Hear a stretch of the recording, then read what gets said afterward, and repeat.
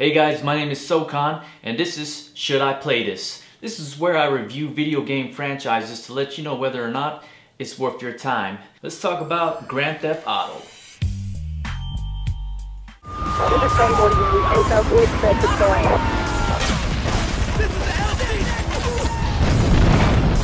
South Red Line, South Elville. Respond to a 1015 in South Elville.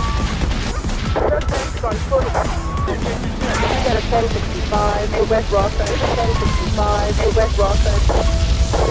Now the thing about Grand Theft Auto that everybody kind of likes is, well, you get to run around, you know, made up cities and you get to commit crimes. I remember the first time I played uh, Grand Theft Auto, I think uh, Vice City on the PS2.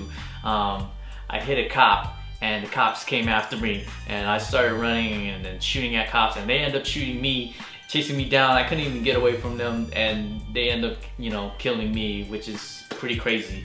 On each of the games, um, depending on which one you play, uh, you have little uh, missions that you uh, work in a way to become a bigger or higher up bad guy or, or criminal, basically. It's a safe way to become a criminal. Um, I guess people really enjoyed that. Um, the game was okay. I mean, um, it had its moments. But overall, the, the series is, is, is actually hot. It sells well. It, it's one of the biggest games in its, its genre. If you're really into that and interacting uh, with the entire city and stuff like that, uh, uh, definitely you could check it out. I'm not really that much into uh, the Grand Theft Auto series. I played it, I, it was okay. I prefer uh, other genre games. That's just me, it's up to you. Hit subscribe, uh, check out the links below, and see you guys next time.